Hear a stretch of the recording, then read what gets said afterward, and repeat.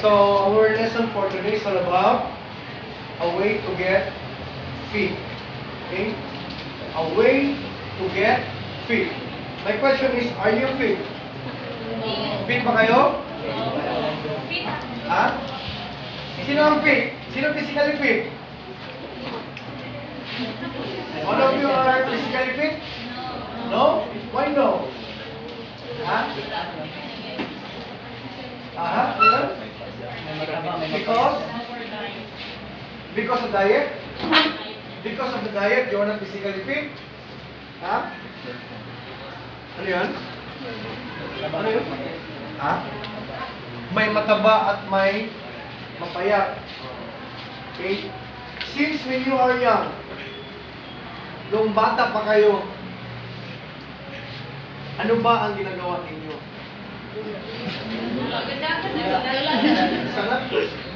Sa isa lang? Yes? Dagan-dagan, dagan, takbo, running, what else? Ha? Playing what? Ha? Ha? Louder! Tumbang preso, what else? Ha? Patintero, what else? Sungay, pabungay, alutanay, buwanay. Okay? So, ibig sabihin wala kayong ibang ginagawa. Since when you are young, puro kayo laro. Oh, come on. How about household chores? Did you help your parents at home? Yes. What are these activities that you usually do at home? Manglaba. Ha? Mamugas yung plato sa... Louder. Manglimpyo. Manglimpyo. Balay. What else? What else? More. Hugas plato. What else? Mopping. What else? Trapo. Anong trapo mo? Ha? Ah, parador lang. Okay? Did you not wipe the corrid- corridor or mga mirror? What else? Okay? What else? Ano pa ang mga physical activities ninyo sa bahay? Or uh, you usually perform? Tulog! What are these? What do you mean by physical activities? Huh? About? About the exercise? What else? Physical activity. What is your physical activity? Come on, stand up. Sila bro boys. Mag-exercise. What is your exercises? Jogging every morning. Very good. What else? What is your physical activity? Wala. You have physical activity? Ah, you work out. So, what are these workouts that you usually perform? Squat, no? Squat ka, no? Ganun.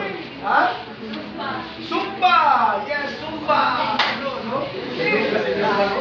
Ganun ka. No? Zumba naman! Masyadong, ano, masyadong, ano ito, ano?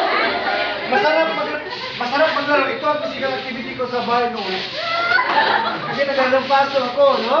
Naga, scrub the floor. Kung mag-scrub the floor ako, ano ba ang develop na sarili ko? Paa. Ano mangyari sa paa ko? Magdago. no?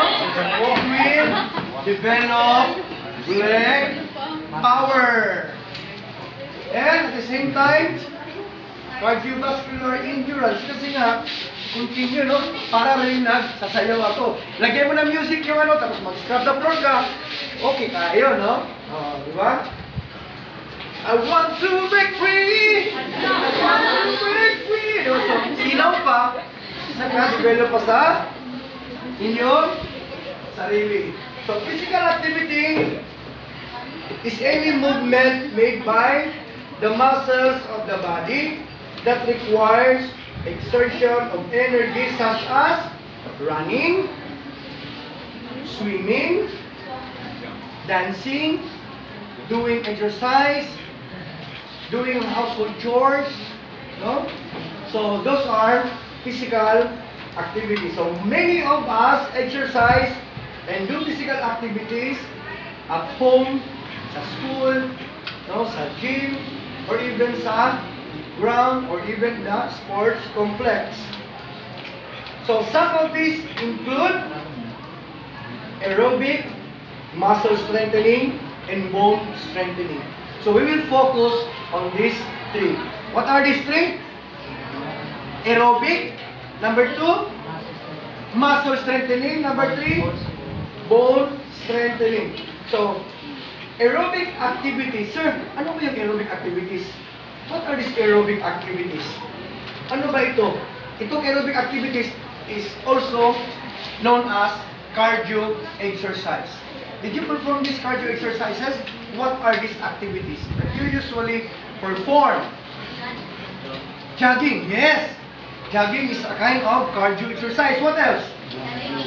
Yes? Yes, biking, no? Bike, bike, biking ba yan? biking. Biking pala ito, no? Uh, biking or cycling, what else? Ha? Stand up, louder! Come on! Ha? Ano yun? Running, yes! What else? Dancing! No? Walking! What else? What else? Climbing, mountaineering, trekking, swimming. They said that swimming is the best exercise compared to running. Why? Nga naman? Sige, nga naman. Sige, sana. Ha? Ah, Yes. Sige, stand up. Louder. para ko Para mag maghaba yung Sige, come on. I know. Para maghaba yung paghinga mo, para hindi yes, tama. Para hindi ka mabilis mapagod. Pag ang isang tao, no, have a condition in terms of condition masyado yung kanilang heart and lungs, no? Kahit ano pang gagawin mo, no? Talagang napaka physically fit mo. Okay, cardio yan. Out of those components, sa fitness class, speed, agility, coordination, power, uh, flexibility, and cardiovascular, uh, muscular endurance, and cardiovascular endurance. Ang pinaka-bottom, if you want to live longer, okay, doon kayo sa aerobics, cardio exercise. You know why? Because bone strengthening and muscle strengthening can be developed even at home. Some of the managers, some of the uh, professionals, kasi hindi sila makapagtrabaho, makapag-workout because of their duty. So some of them went to where? They went to, very good, they went to the gym. No, workout sila doon, ng treadmill.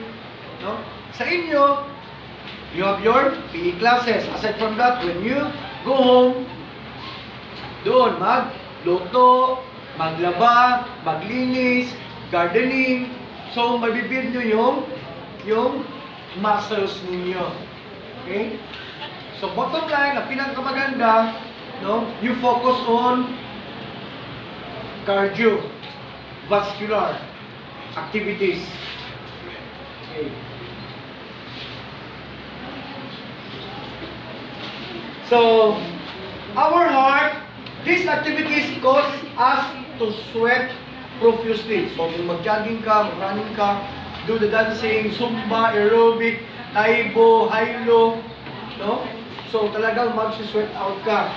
So, our breath, sabi niya, no? You will breathe harder. You will breathe harder. You will sweat profusely. So our pump, our heart pumps blood more vigorously, causing the oxygen to circulate throughout our body. So this allows us to sustain our aerobic exercise for a for a few minutes.